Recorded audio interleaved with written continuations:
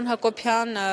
երկրորդ նախագահ Ռոբերտ Քոչարյանի նկատմամբ վերաքննիչ քրեական դատարանի հրապարակած որոշումից հետո հանրապետական կուսակցության գործադիր մարմինը հայտարարություն էր տարածել, նշելով, որ վերաքննիչ դատարանը կոպտորեն ոտնահարել է մրցակցային դատավարության սկզբունքը եւ կայացրել բացառապես քաղաքական որոշում եւ գործընթացը որևէ աղերս չունի ժողովրդավարության, իրավունքի գերակայության եւ դատական իշխանության անկախության հետ։ Հանրապետականի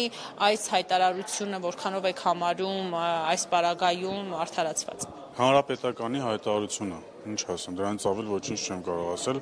ՀՀԿ-ի հայտարարությունը։ Նրանք բնականաբար այդպիսի հայտարարություն պետք է անեն։ Ուղղակի զարմանում եմ, որ նրանք չնայած ինչ եմ զարմանում,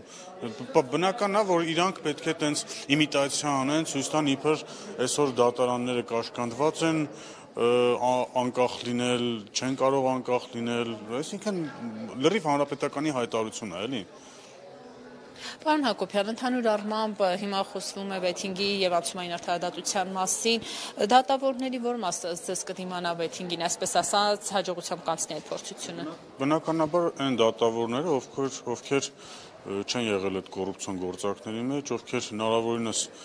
կարծում եմ կլինեն այդպիսի падգամավոր դատավորներ, ովքեր հնարավորինս այնուամենայնիվ լինելով այդ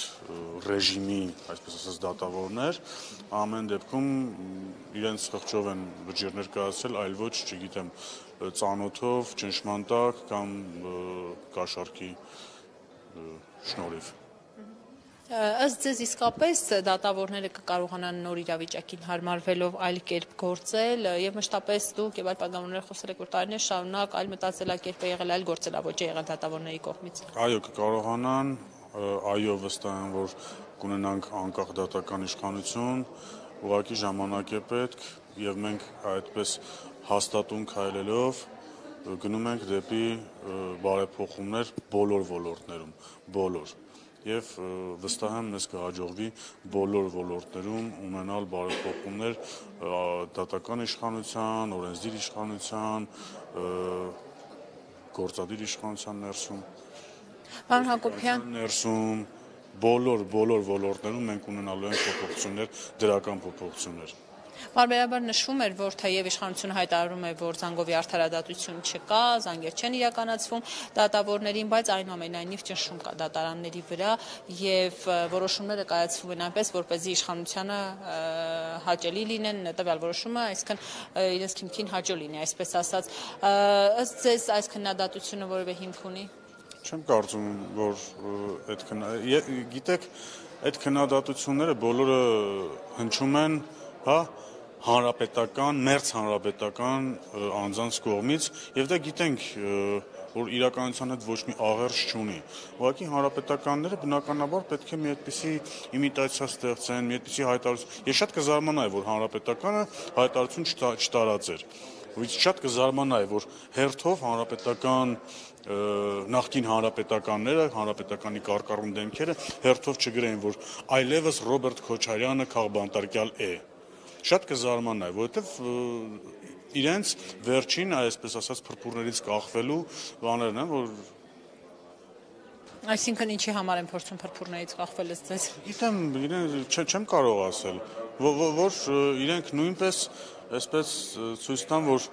իրենք էլ են խաղի մեջ, բայց այնինչ իրենք արդեն վաղուց խաղից դուրս են իրենց իրենց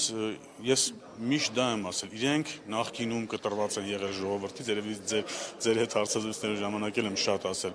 Ինչպես նախկինում իշխանություն եղած ժամանակ կտրված են եղել ժողովրդից հասարակությունից այնպես էլ այսօր իշխանության չեն, այնուամենայնիվ նրանք կտրված են հասարակությունից։ Նրանք չգիտեն հասարակության կարծիքը, հասարակությունը չի ընդունում իրենց կարծիքը,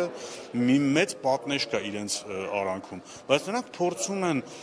Facebook-ի միջոցով գոնե տպավորություն ստեղծել, որ իրենք դեռ կարծիք կարող են հայտնել, իրենց կարծիքը լսող կա։ Ինչ է նշանակում, ասենք հաջորդ օրը անմիջապես Ռոբերտ Քոչյանը քաղաքական հետապնդման է ենթարկվում։ Ան Հակոբյան Ռոբերտ Քոչյանի որդին նշել էր մի առիթով, որ տարիներ շարունակ հասարակության մեջ սերմանվել է, որ իր հայրն է մեղավոր եւ մարտի 1-ի այդ իրադարձությունները փորձել են իր հոր հետ կապել, մեղավորությունը իր վրա բարթելով, ինչպես է վերաբերում նաեւ այս կարծիքին։ Տարիներ շարունակ իր հայրը ուներ հնարավորություն բոլոր հնարավորությունները հակառակը ապացուցելու, այսինքն մարտի 1-ի գործով հրաման տվողներ ձերբակալվեին, կրակողներ ձերբակալվեին եւ ինքը իր վրայից այդ հա նեղություն ովքեր էին այդ տպավորությունը ստեղծում ընդդիմությունը որ չգիտեմ ոչ հերոստատեսություն ուներ ոչ կայք ուներ ոչ ռադիո ուներ ոչ մի լրատվամիջոց չուներ որ որի միջոցով կկարողանար այդ ինչպես էր ձևակերպել հա տպավորություն ստեղծել թե իր հայրն է մեղավոր այդ այդ ռեսուրսների բացակայության դեպքում ուրեմն ընդդիմությունը կամ որոշ մարդիկ, որոշ ուժեր կարողացան այդ տպավորությունը ստեղծել, իսկ այն պարագայում, երբ որ ողջ մեդիա դաշտը իրենց տիրապետման տակ էր եւ մնացած բոլոր ռեսուրսները, իրենք չկարողացան հակառակը ապացուցել, որ այ Ռոբերտ Քոչյանը Ռոբերտ Քոչյանի հետ կապ չունի մարտի 1-ի գործը ինքը տեղյակ չի հիմա է պատասխանատվության ենթարկվում հետեւաբար ես վստահ եմ որ արդար դատականություն է տեղի ունենում եւ ես վստահ եմ, որ բոլոր բոլոր մեղավորները պատժվել են, բոլոր։ Մարտի 1-ը պետք է բացահայտվի։ Պարոն Հակոբյան, տեսակետ է հնչում նաև, որ եթե Ռոբերտ Քոչարյանի նկատմամբ քրեական գործ է հարուցվել, այդ ժամանակ պաշտոնավարել է նաև 2008-ին Սերժ Սարգսյանը, ինչու նրա հետ կապված, այսպես նշվում է եւ հարց է առաջանում, թե ինչու իր հետ կապված որևէ այսքան գործ չկա եւ ընդհանուր առմամբ միայն մամուլում տեղեկություն եղավ, որ նա էլ հարցակնվել է, սակայն ըստ էության հստակ իր հետ կապված որևէ գործընթաց այդպես էլ տեղի չունեցավ։ Նաև ձեզ մոտ սա հարց չի առաջացնում։ Ճիշտ ասած չեմ կարող ասել ինչու, բայց վստահ եմ, որ այս հետաքննությունների արդյունքը, եթե պարզվի, որ Սերժ Սարգսյանը նույնպես հանցակից է եղել մարտի 1-ին, չգիտեմ, հրաման է տվել, ես մի փոքր չեմ տիրապետում, հա, այդ իրավական այդ նորմերին, թե դեռ ինչքան ժամանակ է մարտի 1-ի օրը, ով է Ռոբերտ Քոչարյանն է կարծեմ դեռ եղել իր իր լիազորությունները դեռ իրենն են եղել, այսինքն այդ հրաման տվողը այդ պահին գերագույն գլխավոր հրամանատարը Ռոբերտ Քոչարյանն է եղել։ Դրա համար ես չգիտեմ իրադարձությունները ինչպես կզարգանան, բայց ես ասում եմ եւ պնդում եմ, որ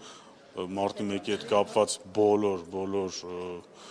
մեղսակիցները պետք է պատասխանատվության ենթարկվեն։ Եթե բացվի հաս։ Դե եթե բարձվի, ապա բացառություններ պետք է չլինեն բացառություններ պետք է չլինեն։ Պատասխանատվություն կլինի ապա։ Դե եթե parzvi կլինի։ Ես ուզում եմ, որ լինի համենայն դեպս եւ կարծում եմ կլինի։